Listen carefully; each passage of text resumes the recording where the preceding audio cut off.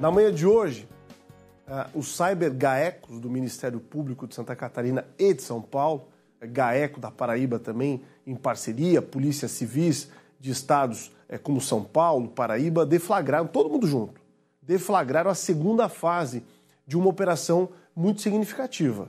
Foram cumpridos três mandados de busca e apreensão no estado da Paraíba e um mandado no estado de São Paulo. O objetivo é dar continuidade à ação de combate a crimes de constrangimento que envolvem diversos assuntos, como ameaça, racismo, outras práticas criminosas cometidas na internet.